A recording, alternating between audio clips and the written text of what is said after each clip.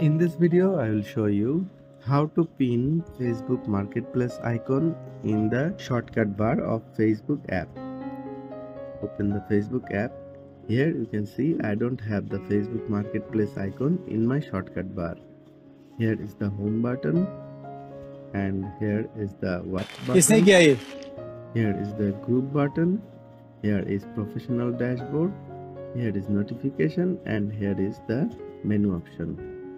There is no Facebook Marketplace icon in the shortcut bar. How to set Facebook Marketplace icon in the shortcut bar? Tap on the three vertical lines. Scroll down and you will find settings and privacy. Go to the settings and privacy and then go to settings. In settings, scroll down and you will find navigation bar. Here you will find two options customize the bar, manage notification dots. Tap on the customize the bar. Here you will find your shortcuts and available shortcuts you can set on. Here you will find marketplace shortcut is available and which is now in auto mode. You can see Facebook Marketplace now pinned. I don't need group to pin here. I'll set it in auto mode. Okay. Let's go back and check.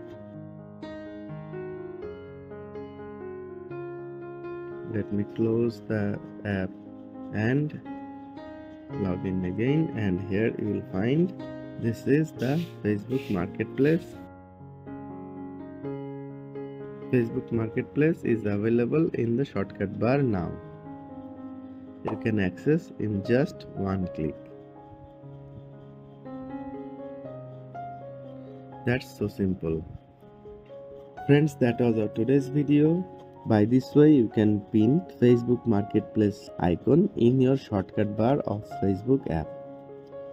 I hope this video was very helpful for you.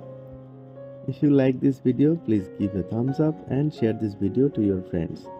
Subscribe the channel to get more this kind of videos regularly. Thanks for watching.